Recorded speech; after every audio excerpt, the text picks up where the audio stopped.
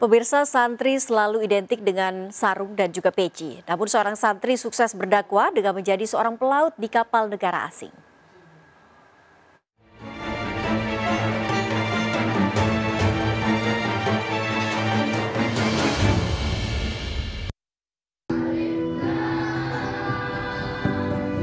Kalau kita mengejar dunia, dunia akan menghindar. Tapi jika kita mengejar akhirat, dunia akan mengikuti. Itu prinsip yang saya lakukan. Uh, ibu dan mama saya bilang sama saya, mama sama papa nggak bisa ngajar kamu agama. Karena minimi agama, papa sama mama lempar kamu ke pondok biar kamu jadi anak yang bermanfaat. Akhirnya pada suatu saat, saya masuk dalam pondok Modern Salam Gontor tersebut dalam kelas 1 itu di Gontor 3. Dalam Gontor 3, pelajaran dengan bahasa Indonesia, mengalami pelajaran ilmu hadis dan tafsir. Justru ketika saya mendapatkan ilmu dalam Gontor, itu rasanya tidak cukup. Kita hanya mendapatkan, belum membuktikan kepada masyarakat.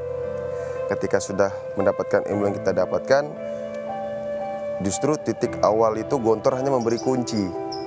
Ada banyak pintu harus kita buka. Saya termotivasi dengan ayah saya yang bagian chief engineer, kebetulan pelaut juga, satu kampus dengan saya. Jadi ketika itu saya termotivasi untuk mengikuti jejak ayah saya sebagai pelaut.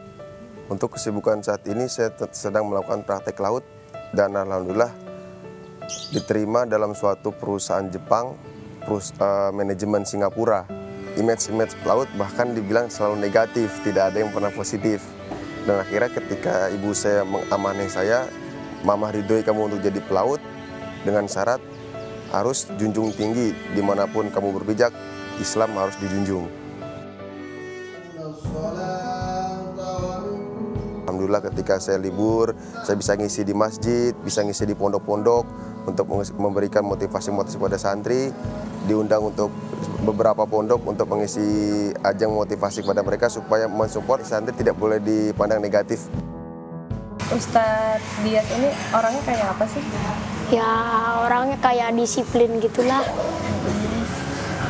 Disiplinnya kenapa emang?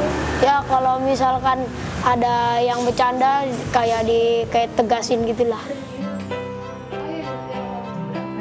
Dalam pondok pesantren yang tertanam bagi saya, bondo bau pikir lek perlu sak nyaman pisan. Kita harus totalitas dalam bergerak untuk berjuang dalam kehidupan masing-masing meskipun itu harus nyawa bagi taruhannya. Kalau dunia pelayaran kita berbeda watak, berbeda negara dan itu pun harus apa dari saya sendiri harus tetap berpegang tokoh untuk berdakwah dalam menjunjung nama Islam dan akhirnya kru-kru di kapal meskipun saya jabatan paling bawah di atas kapal tapi lalu dalam segi untuk ibadah saya selalu ditunjuk untuk menjadi imam di atas kapal. Cantik keren itu adalah di mana santri berpijak, di situlah Islam dijunjung. Yang ingin saya capai adalah satu, sedikit ilmu saya bisa bermanfaat untuk umat. Saya tidak bisa memilih di mana saya dilahirkan dan di mana saya tinggal. Sepertinya bunga mawar tidak akan tidak bisa memilih di mana dia tumbuh, tetapi saya bisa memilih di mana saya mengabdi dan berkiprah serta berdakwah.